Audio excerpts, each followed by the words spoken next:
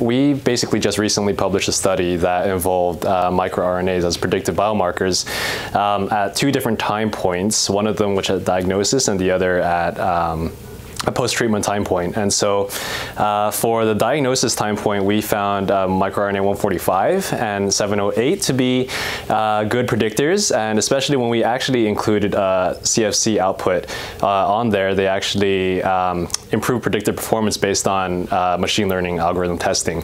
And for the post-treatment time points, we had microRNA 150 and microRNA 185. And once again, uh, both of these, when we had a nilotinib CFC output included in the panel uh, actually improved uh, predictive performance for those as well. Um, as for microRNAs, there are um, plenty of studies out there that have uh, described uh, microRNA signature profiles in CML and many other cancers as well. So in CML, you have um, many microRNAs that are uh, differentially expressed, especially um, between disease stages as well.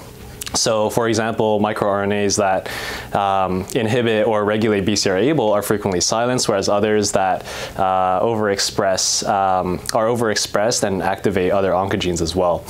Um, and so, there's definitely a lot of potential for microRNAs to act as biomarkers there. It's just that because of the fact that it has the potential to act as both tumor suppressors and oncogenes, and also the fact how they are um, their differential expression can be modulated by several different things. Uh, it is quite tough to exactly pinpoint um, the exact roles of these microRNAs depending on the cancer and the subtype.